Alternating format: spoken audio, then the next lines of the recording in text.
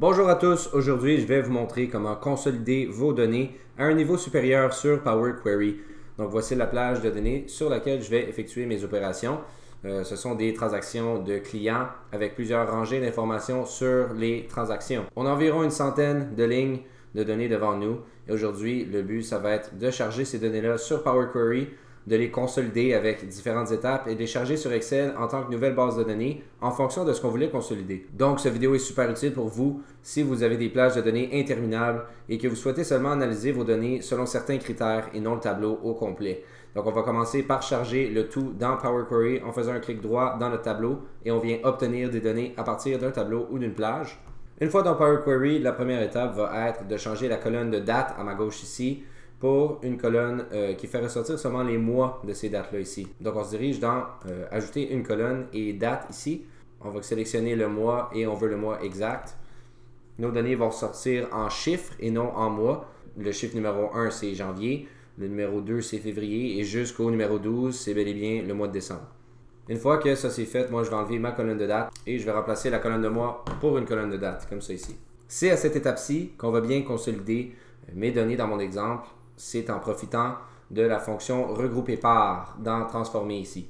Donc je vais appuyer sur regrouper par. Et dans mon exemple, moi je veux euh, regrouper, premièrement je me vais sur le mode avancé ici. Dans mon exemple, je veux regrouper mes données par leur date qu'on a changé en mois, on n'oublie pas ici. Je vais ajouter deux regroupements. Donc le deuxième, ça va être le numéro de canal et le troisième va être le numéro de représentant. Donc on est en train de faire des groupes qui ont des numéros de mois, des numéros de canal et numéros de représentant en commun. Puis parmi ces groupes-là, nous, on va être capable d'aller faire la somme de mes ventes en allant chercher les données dans ma colonne de vente. Et on fait aussi la somme des quantités d'achat. Quantité, comme ça ici. Pour chaque regroupement qui va être créé après cette étape-ci, on va être capable de faire la somme des ventes et des quantités dans deux nouvelles colonnes consolidées. Donc une fois que tout est beau, je vais mettre un Q majuscule ici. Une fois que tout est beau, on peut charger le tout on appuie sur OK, on voit que nos deux nouvelles colonnes euh, sont apparues. Donc chaque ligne ici, c'est rendu un nouveau groupe individuel. Puis parmi ces groupes-là, il y avait plusieurs transactions à l'intérieur de ça qui avaient ces mêmes colonnes-là en commun. Donc je vais vous donner un exemple. Pour toutes les transactions qui se sont passées au mois de janvier, qui ont un numéro de canal de 2 et un numéro de représentant de 2, on a fait 2280 ventes et on a eu une quantité d'achat de 43. Donc moi, personnellement, c'est la seule consolidation que j'ai à faire. On voit déjà que j'ai rétréci le nombre de données à analyser. Donc je vais finir le tout en fermant et chargeant euh, ma nouvelle base de données sur Excel. Donc maintenant que le tout est sur Excel, on peut voir que au début, mes données, j'avais au-dessus de 100 lignes. J'avais exactement 100 lignes en fait. Là, dans mon nouveau tableau, j'en ai simplement 49.